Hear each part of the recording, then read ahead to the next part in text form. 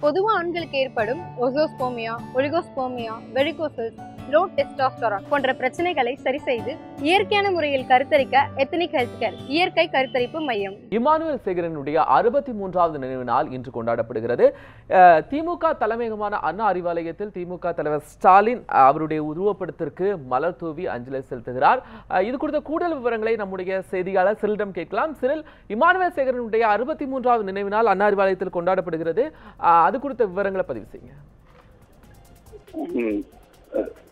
தியாகி இம்மானுவேல் சேகரனின் அறுபத்தி மூன்றாவது நினைவு நாளை முன்னிட்டு திமுக தலைமையகமான அண்ணா அறிவாலயத்தில் அவரது உருவப்படத்திற்கு திமுக தலைவர் ஸ்டாலின் திமுக பொதுச் செயலாளர் துரைமுருகன் திமுக துணை பொதுச் செயலாளர்கள் பொன்முடி ராசா ஐ. பெரியசாமி திமுக மகளிர் அணி செயலாளர் கனிமொழி உள்ளிட்டோர் மலர் தூவி அஞ்சலி செலுத்தினர்.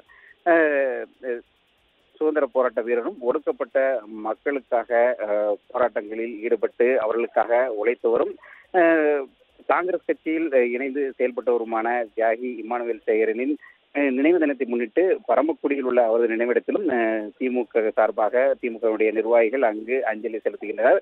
மேலும் இங்கு திமுக தலைமையமான அண்ணா அறிவாலயத்திலும் அவரது நினைவை போற்றும் விதமாக இங்கு அவரது உருவப்படத்திற்கு மலர் தூவி அஞ்சலி செலுத்தியிருக்கிறார்கள். சிறில் நிகழ்ச்சியில யாரெல்லாம் கலந்து கொண்டு இருக்கிறாங்க இமானுவேல் சேகருக்கு அஞ்சலி செலுத்துகிற இந்த நிகழ்வுல யார் யாரெல்லாம் ஆஹ்